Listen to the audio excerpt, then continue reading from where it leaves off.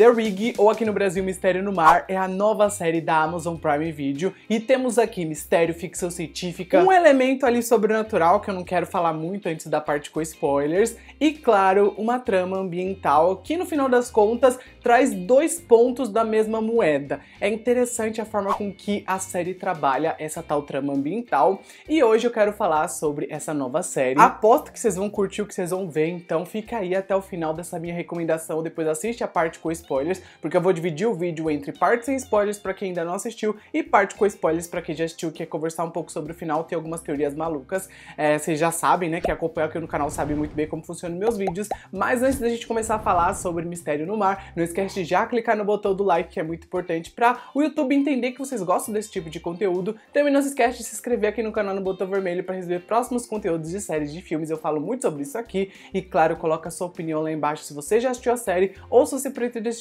me conta lá também que eu quero muito saber. E a gente pode conversar mais lá nos comentários, então encham eles ali de coisas que vocês têm a dizer que eu vou ficar muito feliz em ler. A série Mistério no Mar mostra alguns funcionários de uma plataforma de petróleo passando alguns perrengues quando fortes tremores abalam a base, fazendo eles ali perderem a comunicação com o mundo exterior, sendo que uma névoa misteriosa também se espalha por todo o Mar do Norte e agora todos eles ali dessa base têm que se esforçar para descobrir o que está acontecendo e também para descobrir como eles vão sair daquele lugar. E é claro que se as coisas já estavam ruins, elas ainda podem ficar pior. E é aí que uma força sobrenatural entra em cena ali logo nos primeiros episódios ainda para fazer com que esses personagens enfrentem vários desafios. E sendo bem sincero com vocês, eu adorei acompanhar todos esses funcionários da plataforma aqui em Lock Bravo sendo colocados ao seu limite para tentarem sair daquele local, já que a cada novo episódio a gente ficava mais e mais presos na trama desses personagens e mais e mais fixados nas performances dos atores. É incrível como cada um dos personagens ganha o seu momentinho ali para ser desenvolvido, então o peso de ser o protagonista da série não fica sempre nas costas de um ator, fica nas costas de vários. Isso é muito legal, sabe? A série sabe mesclar muito bem é, todos os personagens que eles têm. Óbvio que a gente tem os destaques, no caso o Ian Glenn, que interpreta o Magnus, o chefe da plataforma, e também a Emily Hampshire, que interpreta a Rose, é uma das superiores da empresa Pictor, que gerencia as plataformas de petróleo. E a Emily, eu tava com saudade dela porque eu adorava ela em Schitt's Creek. Eu sei que ninguém assistiu essa série, mas eu fiquei muito feliz em ver ela aqui novamente. Então, a Emily, te adoro. Já os outros atores não interpretavam personagens que o roteiro exigia muito deles, né? Um ou outro ali realmente tinha o seu momento para ter uma performance forte, mas esses dois que eu mencionei são o centro da série, né? Eles são as pessoas que aparecem na capa, fazendo assim eles ganharem a maioria das cenas ali mais chamativas, mais expressivas, e por isso eles se tornaram os grandes destaques, né? Por mencionar aqui. Já a história dessa série é muito interessante e é até surpreendente que ela foi escrita por dois roteiristas novatos, sendo que a inspiração para a história veio de um dos roteiristas que cresceu na cidade escocesa de Alness, perto da costa do Mar do Norte, e o pai dele trabalhava em uma das plataformas de petróleo e sempre contava histórias de acontecimentos inexplicáveis, sendo que uma dessas histórias que o pai dele contou serviu de base, né, talvez, para a criação dessa série. E até que para roteiristas novatos, eles conseguiram fazer com que o roteiro da série se tornasse claro e.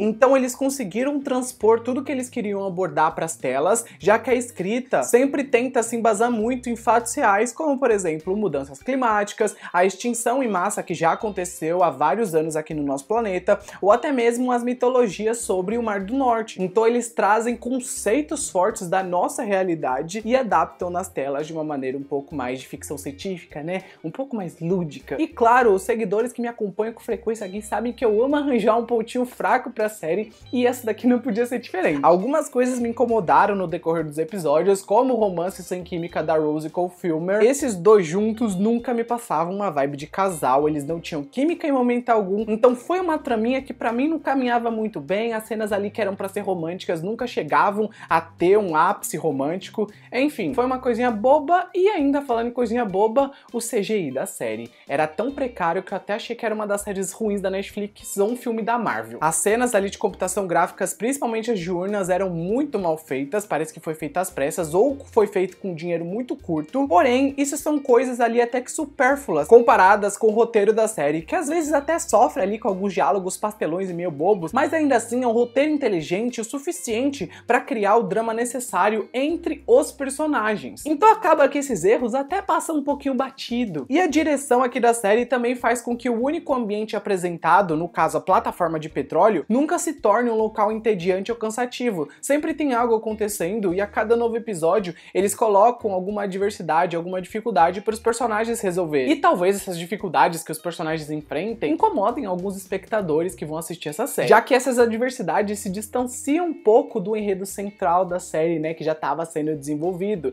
Então, são episódios às vezes filler, mas ainda assim acabam sendo dificuldades corriqueiras que precisavam acontecer para que a gente tivesse cenas tensas e emocionantes, que no caso são necessárias nesse estilo de série. Então não tinha como não ter, sabe? E de um modo geral, Mistério no Mar é um bom passatempo que me entreteve demais. Quem me conhece sabe que eu amo uma série, um filme que se passa em alto mar e até já fiz um vídeo aqui no canal falando desses filmes aí, já listei alguns, enfim. Eu gosto desse estilo de série, então tava muito fácil, tava propenso a gostar dessa nova série e ainda colocaram é uma ficção científica que eu também amo, eu sou apaixonado. Juntou ficção científica, juntou coisa em alto mar, Matheus aqui ama. E personagens também que se conectaram comigo, sabe? Eu gostei de ver é, os problemas que eles estavam enfrentando, gostei de ver é, os draminhas de cada um. Foi interessante e acho que vocês vão curtir também. Dá uma chance pra série, são seis episódios, tá disponível na Amazon Prime Video. Depois me conta o que vocês acharam. A partir de agora eu quero falar sobre a série com spoilers, então teremos spoilers sobre os episódios, falarei sobre o final, falarei algumas teorias malucas do que eu espero pra uma segunda temporada, já que a série termina com um finalzinho aberto, né? Então fica muita coisa para ser resolvida numa segunda temporada. Mas se você já assistiu a série, fica comigo. Se você não assistiu, para o vídeo, deixa o like, comenta lá embaixo se você pretende assistir e se inscreve no canal para receber próximos vídeos de séries de filmes. E agora vamos falar com spoilers. Tudo de estranho que a gente vê nessa série se inicia quando uma névoa inesperada se aproxima da base petrolífica Kinlock Bravo e o jovem Baz, no meio da névoa, cai de uma torre e sofre ferimentos graves, mas pouco tempo depois ele se cura rapidamente e a partir daí ele muda totalmente quem ele era e começa a ter ali uns pensamentos que o instruem a fazer coisas e ele até avisa ali pra tripulação uma grande onda tá chegando. E realmente era um aviso profético, né? Porque o final de temporada é marcado por essa tal grande onda,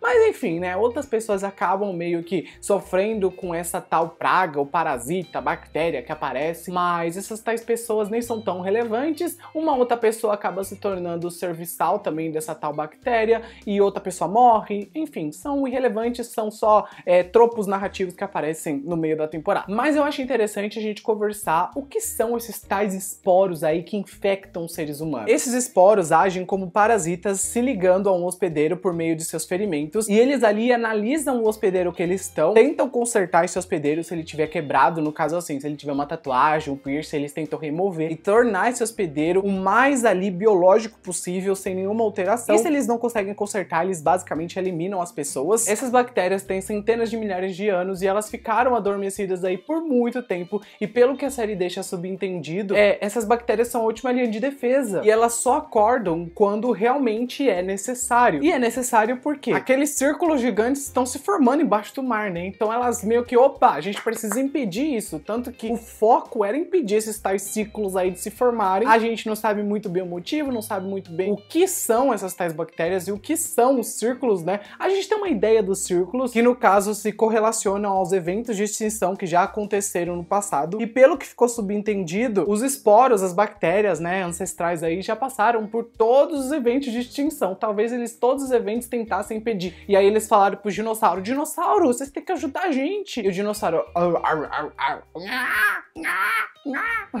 Sei lá, ai meu Deus, que bosta que eu fiz agora. Mas brincadeiras à parte, uma coisa é certa: que a série, no caso, trabalha os impactos ambientais que nós, seres humanos, estamos causando na Terra. Eles até trazem a frase: continuamos abrindo buracos na Terra, em algum momento a Terra vai revidar. Essa frase explana bem, né, as mudanças climáticas, explana bem a temática da série. A propósito, as mudanças climáticas realmente existem e não são de hoje, elas são aí de muitos e muitos e muitos e muitos anos. Elas são uma parte vital do ciclo da vida elas fazem parte da vida terrestre, do que é morar no planeta Terra. E segundo os cientistas, a gente está no sexto evento de extinção atualmente. Então, querendo ou não, os eventos de extinção acabam sendo é, coisas que a gente não pode evitar. A mudança climática só é um empurrãozinho, sabe? Tanto que os outros eventos de extinção, os anteriores, foram causados por algum impacto climático. Então, mesmo que a gente adie esse tal impacto, algum dia ele vai acontecer, mesmo que a gente não queira que ele aconteça. Só que assim, às vezes, nós seres humanos, a gente faz tanta cagada com o meio ambiente, aí fica complicado, né? O meio ambiente não aguenta. E eu também acho legal que a série traz um ponto nas entrelinhas que fala que nós, seres humanos, né, somos meros pontos dentro do ecossistema da Terra. E como esse tal debate ambiental que a gente sempre tenta ter, atrelado aos direitos dos trabalhadores e como a exploração de petróleo acaba trazendo muitos empregos para muitas pessoas, mas também como essa mesma exploração acaba gerando um impacto muito maior no planeta que a gente vive. Esse debate meio que deixa o espectador pensativo porque ele mostra os dois lados de uma só moeda, o lado dos ambientalistas e o lado dos trabalhadores. Mas fugindo um pouco, né, dessas questões mais sociais que a série traz, outra questão é a questão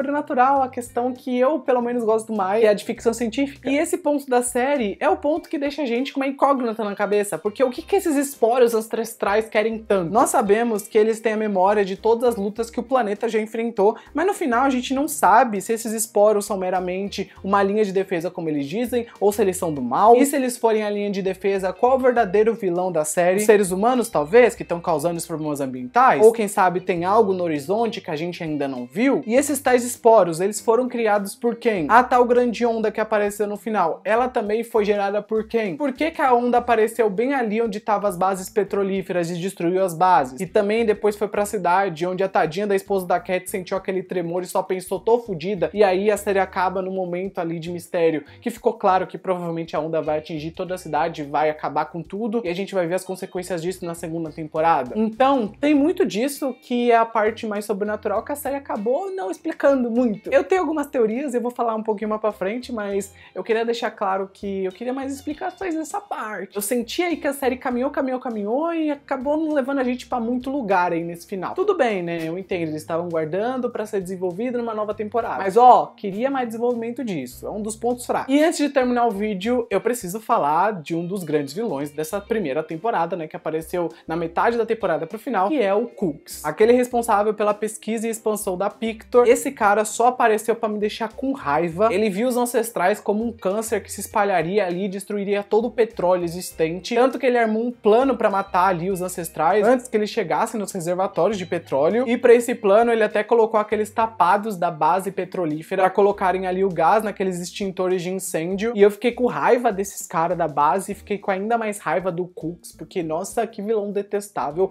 O cara só fazia merda atrás de merda. E ele só queria matar os ancestrais porque eles transformariam o petróleo da Pictor de volta em matéria orgânica. Óbvio que não fica muito claro do porquê os ancestrais queriam converter o petróleo, mas fica claro, né, que a empresa Pictor tem muito a esconder. E eles já sabiam da existência dos ancestrais. Isso ficou aí muito na cara. Primeiro porque o Cooks foi até a base já focado em destruir os ancestrais que estavam ali no fundo do mar. Tanto que a gente vê os experimentos que ele faz, né, naquele episódio final. E também o segundo ponto é porque o helicóptero de resgate que salva todos no final não estava levando eles para o continente. Na verdade, estava levando eles para outro lugar que a gente não sabe qual é, mas provavelmente seja alguma base da Pictor, ou quem sabe seja uma ilha. Isso até me faz cogitar que a Pictor talvez já tenha pegado alguma amostra de um ancestral para estudar, ou algum funcionário da Pictor já esteja infectado e eles estejam estudando esse funcionário. Muitas dúvidas ficaram no ar nesse final de temporada e teve muita ambiguidade acontecendo. Nossa cabeça aí, ó, fica doidinha pensando o que pode acontecer numa segunda temporada depois desse final. E essa segunda temporada nem foi confirmada, mas eu já tô criando umas teorias aqui. Eu quero que vocês me contem a teoria de vocês aí sobre o que vocês acharam da série e o que vocês esperam pra nova temporada. Coloca nos comentários. Mas a minha primeira teoria é que os esporos sejam alienígenas ou do centro da Terra e eles comandem o funcionamento do nosso planeta. Vamos lembrar que eles provavelmente teletransportaram o Bas no final para poupar a vida dele e talvez até levaram o Bas pro habitat natural deles. E isso prova duas coisas. A primeira é que esses esporos aí são amigáveis e a segunda é que eles são seres super avançados, né? Já que além deles corrigirem falhas no corpo humano, né, que é biológico, ainda eles conseguem teletransportar pessoas e fazer plantas crescerem em locais inusitados. O Bas até acreditava que os ancestrais eram a chave para parar os eventos de extinção que estava acontecendo na Terra, né, que ele já tinha visto algumas coisas. Ele afirma que a vida continua sendo vida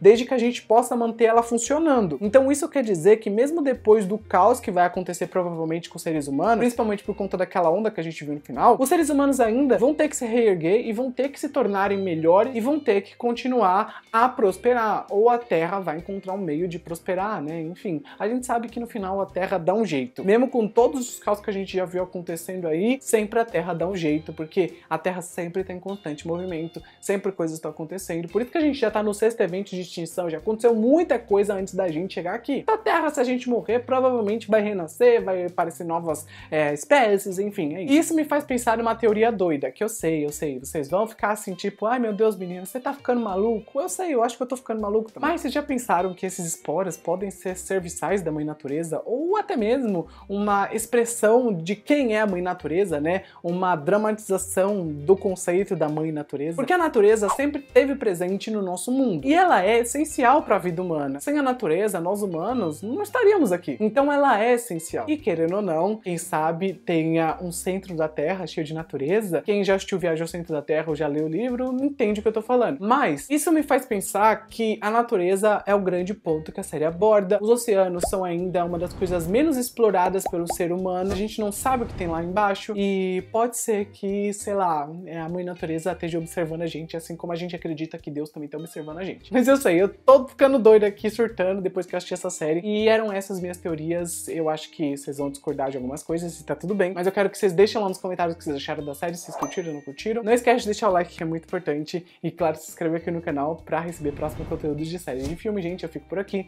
Grande beijo e tchau.